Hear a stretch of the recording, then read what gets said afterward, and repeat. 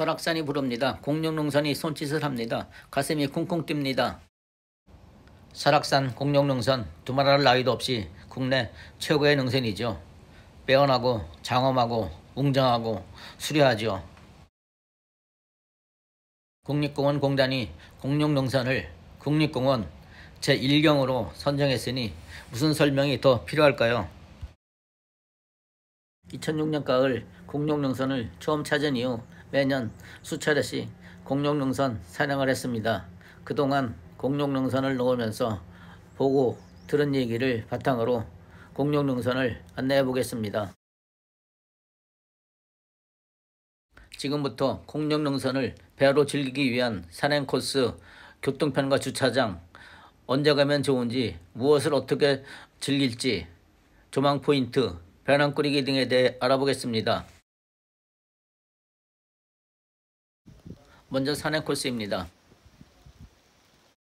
공룡능선은 문어미곡에서부터 마등령 삼거리까지 구간을 말하며 산행거리는 4.9km입니다.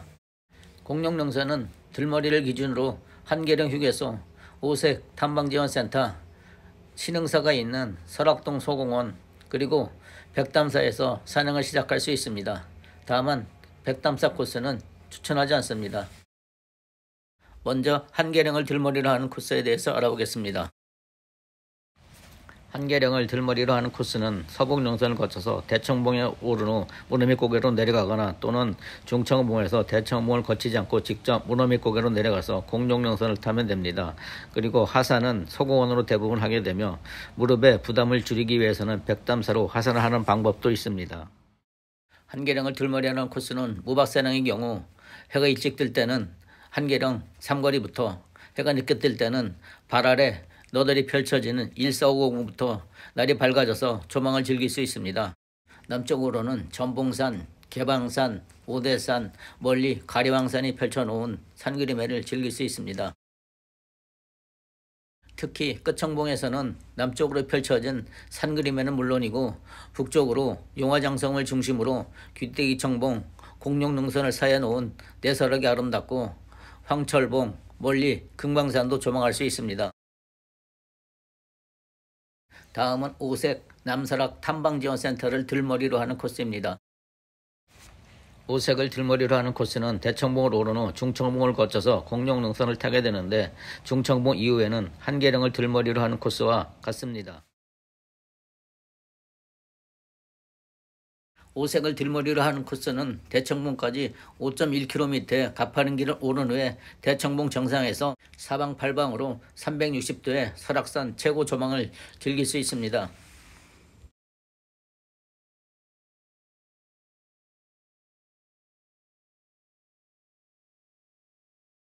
오색과 한계령을 들머리로 하는 코스는 중청봉에서 만나게 되며 중청봉에서 소청봉 내려가는 길 정면으로 아침 햇살을 받은 멋지고 멋진 설악산 최고의 풍광이 펼쳐집니다.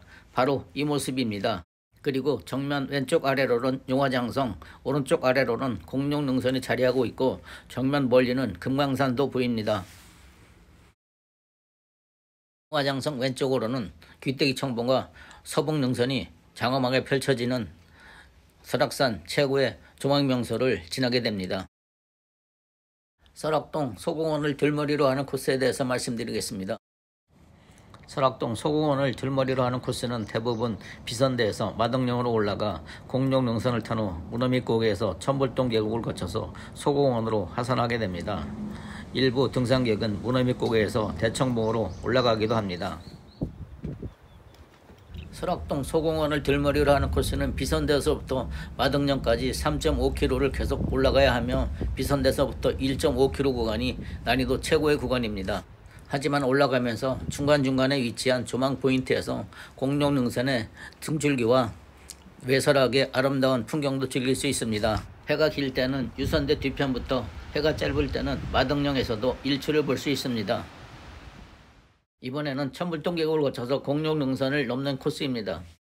소공원을 출발해 천불동 계곡을 거쳐서 문어밑고개부터 공룡 능선을 탄 후 마덕령에서 비선대를 거쳐 소공원으로 하산할 수도 있으며 이 경우는 마덕령 삼거리에서 백담사로 하산할 수도 있습니다.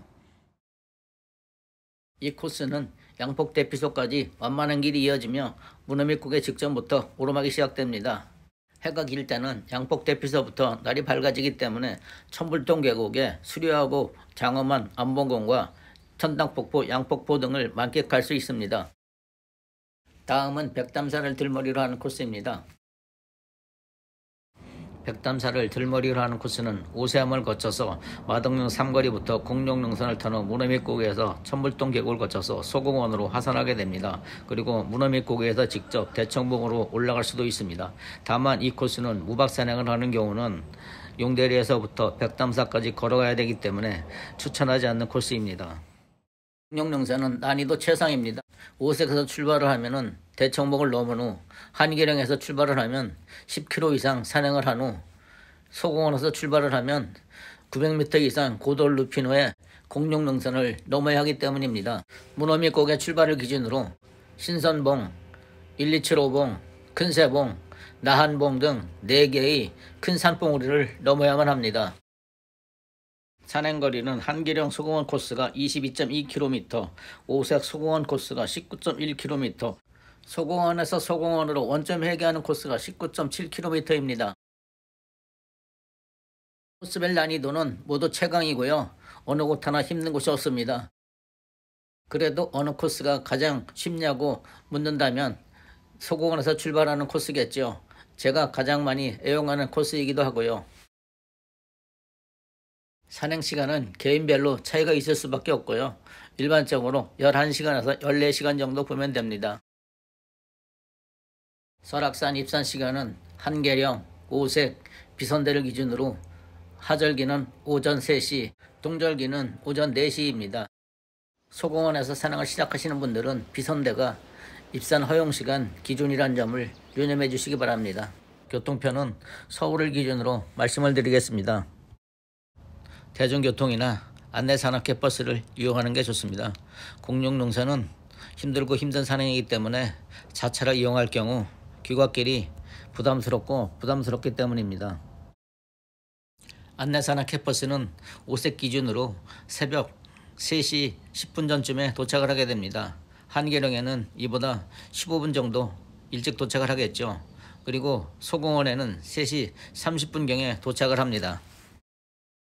대중교통을 이용한 무박산행은 소공원에서 출발하는 코스만 가능하며 서울에서 버스를 이용해 속초까지 간 후 속초에서 소공원까지는 택시를 이용해야 합니다.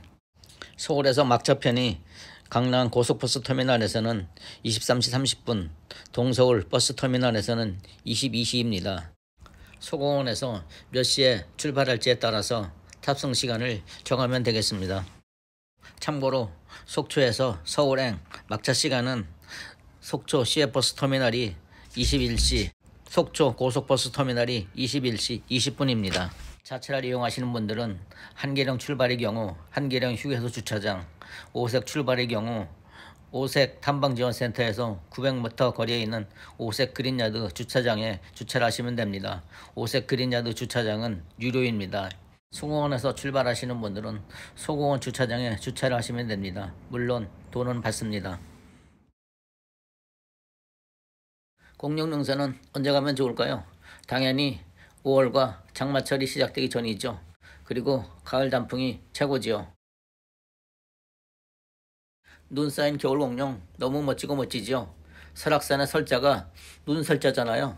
그렇지만 겨울 공룡은 추천하고 싶지 않습니다. 너무 위험하거든요. 이 영상은 폭설이 내린 다음날 비선대에서 마당령길을 럴세를 하면서 올라가서 담은 것이거든요. 그리고 한여름 공룡은 너무 힘들어요.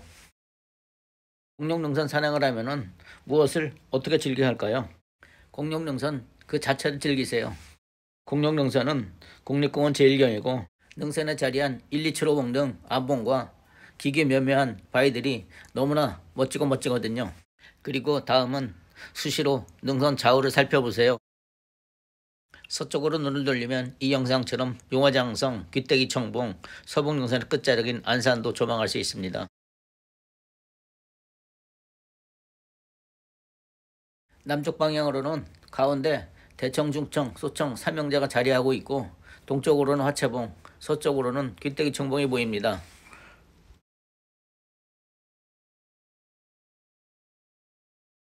동쪽으로는 외설하게 권금성, 천불동 계곡 그리고 멀리 울산바위도 볼 수 있습니다. 그리고 화천능선도 조망이 됩니다. 북쪽으로는 나한봉과 마등령 삼거리 중간 지점에 있는 노덜에서는 저항령, 황철봉, 마등봉, 세존봉도 볼 수 있습니다. 5월과 6월에는 설악산에서만 만날 수 있는 야생화도 즐겨보세요. 먼저 산손다리입니다. 에델바이스라고도 부르지만 설악산 특산종입니다. 신선대 127호봉 나한봉에서 만날 수 있습니다. 바람꽃입니다. 바람꽃은 7월에 대청봉에서 흐드러지게 피지만 6월에 공룡능선에서도 만날 수 있습니다.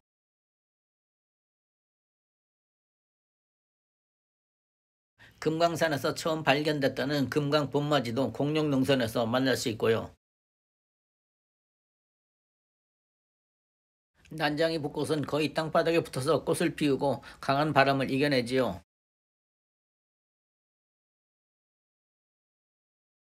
공룡령선 운해를 즐기세요. 공룡령선 안봉 사이사이로 구름이 스며들면은 국립공원 제1경은 말로는 표현할 수 없는 새로운 아름다운 모습으로 다가옵니다. 은혜 조망 포인트는 신선대이고요. 공룡령선 운해를 즐기려면은 동풍이 불어서 동해에서 해무가 공룡능선으로 밀려들 때를 노리셔야 합니다. 동풍이 불 때가 핵심 포인트입니다. 그리고 화면처럼 천불동에 운해가 깔리면 운해가 공룡능선으로 밀려올 때까지 기다려야 합니다. 설악산에 동풍 예보가 있어서 운해를 보려고 신선대를 찾았더라도 동풍이 너무 세게 불면 운해를 볼 수 없습니다. 이 화면은 신선대에서 남쪽으로 신선 1봉과 2봉으로 구름이 넘어오는 장면을 담은 것입니다. 구름이 저렇게 세차게 넘어오면 대청봉과 귀때기 청봉은 보이지만 정작 오른쪽에 자리한 공룡능선은 구름 속으로 들어가서 아무것도 볼 수 없는 상황이 되고 맙니다. 공룡능선 운해를 제대로 즐기려면 운도 따라줘야 합니다. 공룡능선 신선대에서 보는 석양도 환상적입니다. 한번 즐겨보세요. 다음은 조망 포인트입니다. 공룡능선은 모든 곳이 조망 포인트입니다만은 등산로상에서 멋진 조망 포인트 그리고 등산로를 조금 벗어난 지점에서 즐길 수 있는 조망 포인트로 나눠서 설명을 드리겠습니다. 등산로상의 조망 포인트는 무릎밑고개에서 출발하는 걸 기준으로 해서 만나는 순서대로 말씀을 드리겠습니다. 첫 번째 조망 포인트는 신선대입니다. 신선대에 서면은 뒤로 이렇게 대청, 중청, 소청, 삼형제가 보입니다. 오른쪽으로 눈을 돌리면 용화장성과 귀때기 청봉이 보이고 이렇게 국립공원 제1경인 공룡능선이 맞아줍니다. 오른쪽으로는 범봉도 보이고요. 그 뒤로 황철봉도 조망됩니다. 신선대에서 보는 용화장성이고 귀때기 청봉은 구름 속에 숨어 있습니다. 신선대에서 공룡능선 오른쪽 아래로 눈을 돌리면 멀리 울산바위와 달마봉도 조망할 수 있습니다. 신선대를 내려가서 첫 번째 만나는 곡의 정상도 조망 포인트입니다. 뒤로는 신선대 대청봉이 보이고요. 왼쪽으로는 용화장성도 조망이 됩니다. 고개 날망에서 몇 걸음 옮기면은 이처럼 멀리 공룡능선 중심인 117호봉이 나타나고요. 최고의 조망이 펼쳐집니다. 그리고 신이 만든 조각품 같은 이 바위를 지나면 포토전이 펼쳐집니다. 등산로는 왼쪽 안봉과 안봉 사이 115 고개로 이어지고요. 왼쪽으로 암벽이 자리한 115 고개 직전에서 뒤를 돌아다 보면은 멀리 화채봉이 보이고요. 넘어온 신선대는 송곳같이 보입니다. 오른쪽으로 보이는 등산로로 넘어왔습니다. 115 고개를 넣으면서 보면은 정면으로 공룡능선의 중심인 127호봉이 맞아줍니다. 왼쪽 안봉은 천하대 능선이 정상이기도 한 노인봉입니다. 127호봉을 올라가면서 뒤를 돌아다보는 풍경은 명품 중의 명품입니다. 송곳 같은 안봉들이 줄지어 도열을 하고 있습니다. 127호봉 안부에서는 넘어온 남쪽 조망과 앞으로 가야 할 북쪽 조망을 나누어서 봐야 합니다. 이쪽은 남쪽 조망입니다. 멀리 대청봉이 보이고 가운데로 신선대가 자리하고 있습니다. 앞으로는 송곳 같은 안봉군도 보이고요. 127호봉 북쪽으로는 웅장하고 웅장한 큰사봉이 보이고 큰사봉 오른쪽으로 나한봉이 자리하고 있습니다.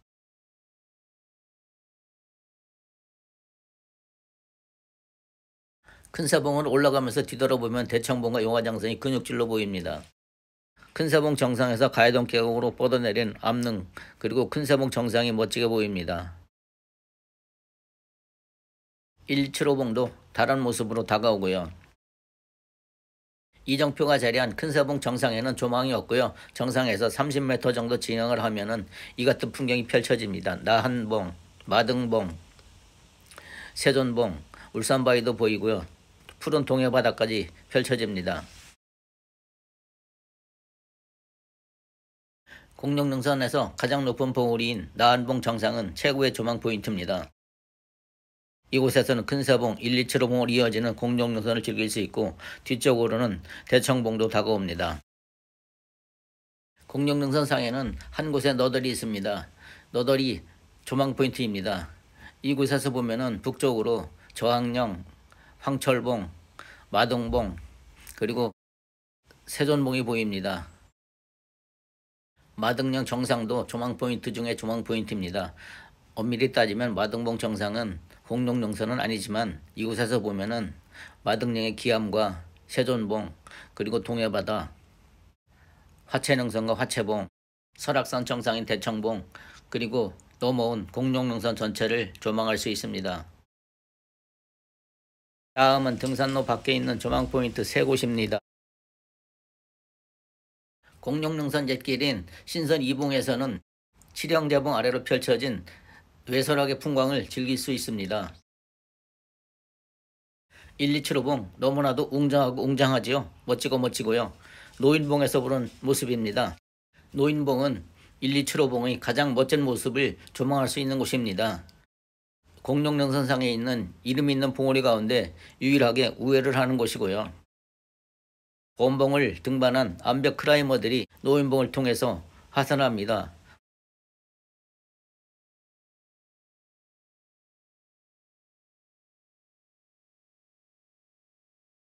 이 길은 117호봉을 올라갈 때 만나는 촛다바위 뒤편에 자리한 길입니다. 이 길로 접어들면 이런 풍경이 펼쳐집니다. 가운데 범봉인데 전혀 다른 모습이고요. 높은 봉우리 노인봉입니다. 안봉군들의 열병식도 즐겨볼 수 있고요.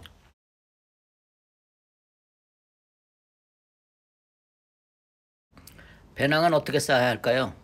결론부터 말씀드리면 배낭은 자기 체중의 15% 이내로 무게를 조절해야 됩니다. 15%를 넣으면 장거리 산행할 때 지쳐서 힘들고 힘이 듭니다. 배낭에 억눌리게 되는 거죠. 그러면 배낭에 꼭 넣어가야 할 필수 준비물을 말씀드리겠습니다. 한 끼 음식과 한 끼 간식입니다. 초콜릿 등 행동식으로 몇 번은 먹을 수 있는 분량이어야 됩니다.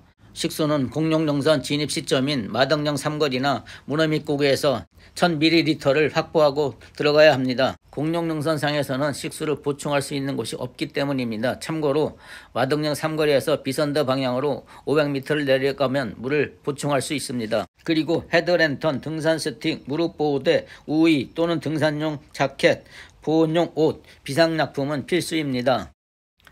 끝으로 공룡능선은 어느 정도 체력을 갖춰야만 갈 수 있을까요?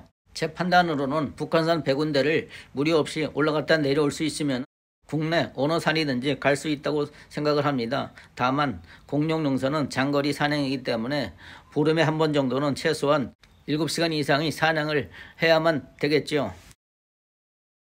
팁을 하나 말씀드리면 체력적으로 공룡 능선 완주가 어렵거나 무박산행이 어려우신 분들은 서울에서 대중교통 첫 차를 이용해 공룡 능선 맛보기 산행이 가능합니다.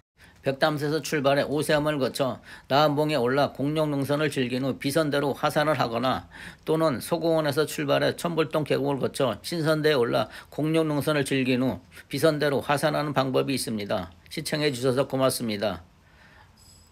멋진 공룡능선 산행을 기원합니다.